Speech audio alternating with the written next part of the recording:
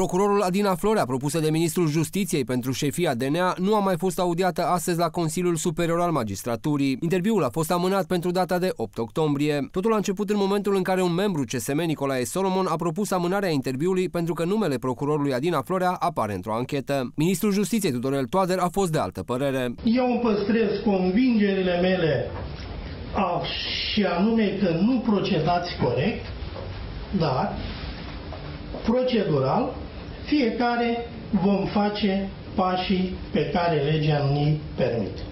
Solicit continuarea procedurii și audierea candidatei față de care, în final, veți decide ce aviz veți da, pozitiv, negativ, dar în tot cazul consultativ.